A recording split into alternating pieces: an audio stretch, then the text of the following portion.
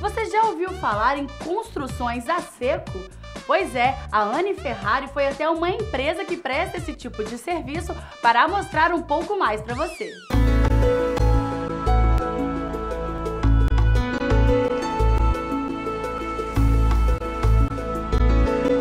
Hoje o Destaque Empresarial veio até a Mari Soluções Construtivas para mostrar e falar sobre essas construções inovadoras e revolucionárias.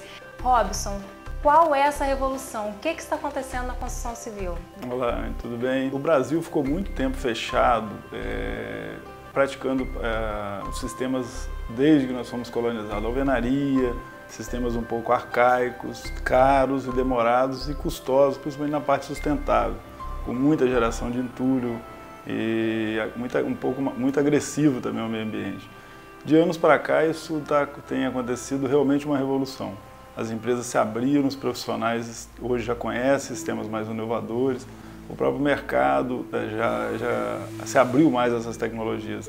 Hoje nós temos, no sistema construtivo, é, falando em termos de estrutura, nós temos o aço sendo muito mais usado que antes, e o aço leve, que é o que nós representamos no Brasil, que é o caso da Light Steel Frame, é, a gente consegue fazer obras, vamos dizer, praticamente feitas por computador. É um sistema muito inteligente, é um Lego de engenharia. São sistemas que é, rápidos, leves, econômicos, eficientes termicamente, onde economiza energia no ambiente interno e pouquíssimo impacto ambiental, muito menos que a obra convencional. Fora esses sistemas de construções em light steel frame, nós temos sistemas chamados termoisolantes, onde a gente faz obras hoje substituindo a alvenaria em fachadas de supermercados, de shopping centers, de aeroportos, de, de hospitais, de escolas, onde um painel de poliuretano entra no lugar de aço com poliuretano entra no lugar de tijolos ou blocos.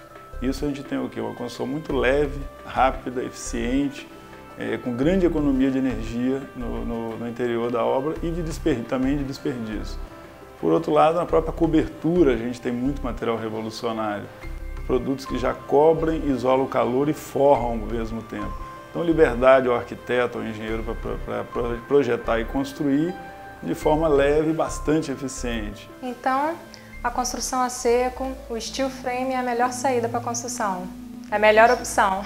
É, com certeza na área residencial sim, nas outras, na área comercial e industrial a gente tem os sistemas de painéis e telhas térmicas, outros, outros sistemas de vedação, HPL, placas Viroc, são produtos que a gente, placas Brasilite, laje seca, steel deck, que são lajes que substituem forma de concreto, escora, armadura de vergalhão positiva. Então todos são sistemas que dão muita racionalidade ao processo.